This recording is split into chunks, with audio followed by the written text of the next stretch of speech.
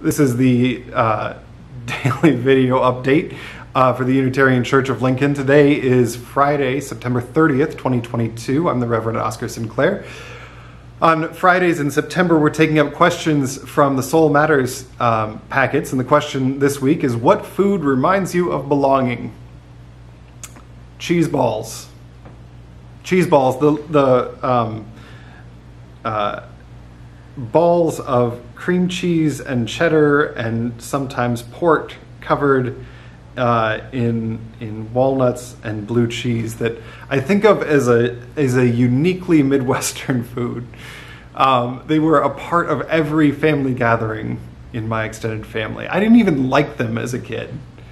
Um, and in my years out east, I, I did not know them among the people that I hung out with as beloved food. Um, but I've grown to appreciate them as an adult, and, and they instantly, instantly bring me back to where I'm from and the people I belong to every year at the holidays. So, cheese balls as a sense of belonging. Have a great weekend, everybody. I'll see you on Sunday.